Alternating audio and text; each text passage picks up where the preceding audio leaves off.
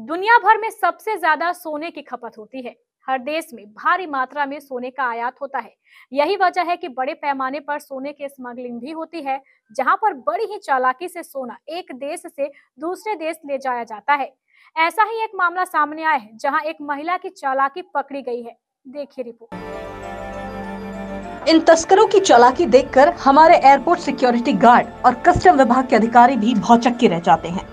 ये कभी अंडरवेयर में सोना छुपा कर लाने की कोशिश करते हैं तो कभी पानी की बोतल पर लगे पन्नी पर गिरे चिपका कर वही ताज़ा मामला सुनकर आपके भी अब होश उड़ जाएँगे, क्योंकि यहाँ पर भी तस्करी तो हुई है, लेकिन इन सभी चालाकियों से और भी दो कदम आगे जाकर, जहाँ पर एक मॉइस्चराइजर क्रीम के डब्बे में सोने के कंगन छुपाकर, तस्कर ने सोचा कि वो बड़े ही चालाकी के साथ इसकी तस्करी कर लेगा।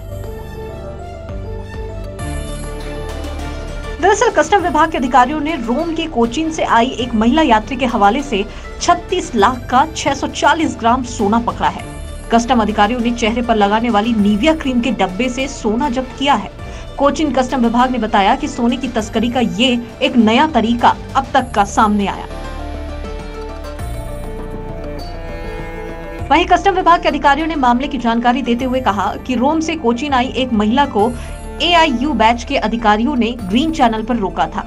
महिला के चेक इन बैगेज को स्कैन करने पर एक संदिग्ध छवि देखी गई। उसके बाद उसके सामान की जाँच की गई। जाँच में एक गोलाकार आकार में चार कच्चे सोने की चूड़ियाँ क्रीम के एक पैकेट के अंदर छिपी हुई पाई गई। बता दें कि इस क्रीम के डब्बे को एक जूते के अंदर छिपाकर रखा गया था। 36 लाख रुपए कीमत का 640 ग्राम सोना बरामद कर जब्त कर लिया गया है और आगे की जाँच फ़िलहाल जारी है। Bureau report, KBC news.